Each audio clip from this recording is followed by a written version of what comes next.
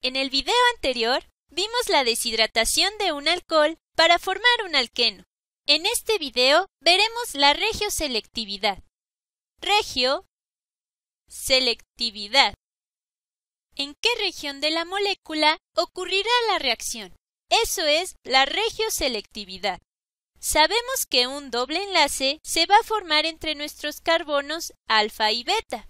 Pero ¿qué pasa si tenemos diferentes carbonos beta? Ahí es donde entra la regioselectividad. Veamos esta reacción. Si yo pongo un OH unido al anillo, justo aquí, y esta vez pondré un metil. Tratemos de averiguar los productos de esta reacción de deshidratación. Si hacemos reaccionar esta molécula con ácido sulfúrico y calentamos, ¿en dónde se formará el doble enlace? Identifiquemos primero nuestras posiciones alfa y beta. Sabemos que este es nuestro carbono alfa y sabemos que los carbonos junto a este son los carbonos beta. Entonces, este es carbono beta y este también es carbono beta. Y sabemos que hay dos hidrógenos en estos carbonos beta. Pondré los hidrógenos. Aquí pongo el hidrógeno. Sabemos que solo hay un hidrógeno arriba de este carbono beta y dos hidrógenos aquí abajo. Estos son los carbonos que participan en el mecanismo. Llamemos al de arriba beta 1 y el carbono de abajo beta 2. Entonces vamos a dibujar dos reacciones diferentes. Si hacemos reaccionar esto con ácido sulfúrico y calentamos, si creemos que el producto se formará usando el hidrógeno de la posición beta, sé que el doble enlace se formará entre el carbono alfa y el beta. Voy a dibujar este producto. El metil está aquí. Yo sé que el OH se va a salir en el mecanismo y que se formará un doble enlace entre mi carbono alfa y beta. Entonces, este es un posible producto una posible región donde la reacción ocurre. Ahora veamos qué pasaría si la reacción ocurriera por la vía del carbono beta 2. En este carbono beta 2 dibujemos el producto para este caso. Este es el metil y el OH se irá al convertirse en agua. Mi doble enlace se forma entre el carbono alfa y el beta de esta manera. Aquí tenemos dos productos diferentes que podemos obtener de esta reacción. La pregunta es, ¿cuál de estos dos se producirá en mayor cantidad? Como esta es una reacción regioselectiva, vamos a ver los grados de sustitución para nuestros productos. Para el primero que obtuvimos en este ejemplo, si nos fijamos en los carbonos del doble enlace, podemos saber qué tan sustituida está la molécula. Bueno, aquí hay tres cosas unidas al doble enlace. Y aquí hay un hidrógeno. Así que este es un alqueno trisustituido. Y para el otro producto, aquí está el doble enlace, ¿verdad? Entonces, estos son los dos carbonos de mi doble enlace. Y aquí hay un hidrógeno. Por acá tenemos otro. Este alqueno está solamente disustituido. Tenemos un alqueno disustituido y uno trisustituido. En uno de los videos anteriores hablamos sobre que un alqueno trisustituido es más estable, así que este es el producto más estable. Y por eso es lógico pensar que el producto que obtendremos en mayor cantidad será el alqueno trisustituido. Aproximadamente, digamos 85% de nuestro producto final será el alqueno trisustituido y solo aproximadamente el 15% será del alqueno disustituido. Esta es una reacción regioselectiva y el alqueno que se formará más, es decir, el producto más estable, se le llama producto de Zaitsev. Voy a escribirlo. Producto Zaitsev. Este será el que se formará más en la reacción. Muy bien. Hagamos otro ejemplo para predecir el producto que se formará más usando la regioselectividad. Empecemos nuevamente con nuestro alcohol. Dibujaré un alcohol por aquí. y es la misma reacción, la deshidratación de un alcohol para formar un alqueno.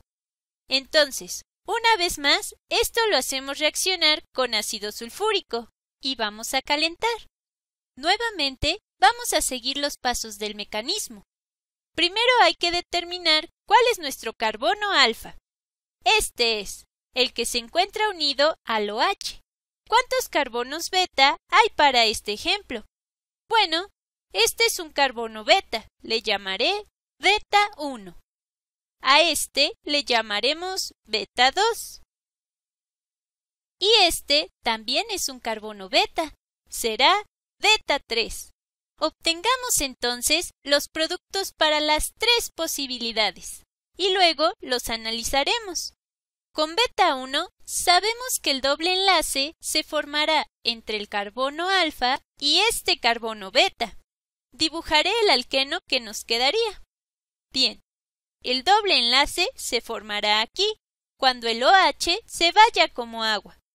Este es un primer posible producto. Ahora veamos qué pasaría usando el B2. Con el protón del B2, el doble enlace se formará entre el carbono alfa y este beta. Dibujaré nuestro esqueleto de carbonos. Aquí está el esqueleto, y el doble enlace se forma entre el carbono alfa y el beta 2. Esta vez se forma aquí. Si hacemos una comparación entre este producto y el que obtuvimos con B1, podemos ver que son la misma molécula, exactamente la misma molécula. Una forma de corroborarlo es ponerles nombre. Si les ponemos nombre, este sería el carbono 1 y la cadena más larga incluye al doble enlace. Entonces, este es carbono 2 3 y 4. Buteno, ¿verdad? Y el doble enlace se encuentra en la posición 1, así que nos quedó 1-buteno. Y si queremos el nombre completo, aquí el metil está en la posición 2 y nos queda 2-metil-1-buteno o solamente 2-metilbuteno. Y ahora nombremos a esta molécula. Muy bien. Este es el carbono 1 y este es el 2 este es el 3 y este es el 4. Ya se ve claramente que este también es 2-metil 1-buteno. Pero es mejor que siempre que no estén seguros le pongan nombre a las moléculas, así no queda duda. Aquí descubrimos que estas dos son exactamente la misma molécula. Entonces hasta ahora solo tenemos un posible producto. Ahora veamos qué pasa con la posibilidad B3. Dibujemos el producto cuando uno de estos hidrógenos B3 participa en la reacción. Nuestro esqueleto de carbonos queda así. Y esta vez el doble enlace se formará entre el carbono alfa y este carbono beta 3, justo aquí.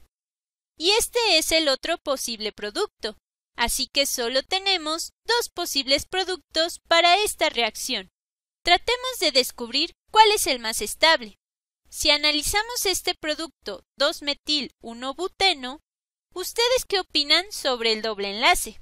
¿Será un monosustituido, disustituido, trisustituido o tetrasustituido? Si ponemos los hidrógenos, es más fácil ver que solo está disustituido. Entonces, este 2-metil-1-buteno es un producto disustituido. Y si observamos este otro producto, podemos ver que hay tres cosas unidas en este doble enlace. Y tenemos un hidrógeno por aquí. Este producto es un alqueno trisustituido. Sabemos que entre más sustituido esté un producto, más estable es. Así que aproximadamente un 90% del producto final corresponderá a este producto, el alqueno trisustituido, y solo el 10% corresponderá al disustituido. Antes de terminar el video, hablemos rápidamente sobre la estereoselectividad. Ya vimos que la regioselectividad se refiere a la región de la molécula en la que ocurre la reacción. Ahora veamos la estereoselectividad. ¿Qué estereoisómero se formó aquí? Veamos una vez más la reacción de deshidratación con este alcohol. Primero identificamos nuestro carbono alfa, este de aquí. Tenemos dos posibilidades para los carbonos beta, pero como la molécula es simétrica, cualquiera de los dos está bien. Ahora, ¿cuáles son los posibles productos que podemos dibujar para esta reacción? Vamos a ver. El doble enlace se formará entre el carbono alfa y el carbono beta.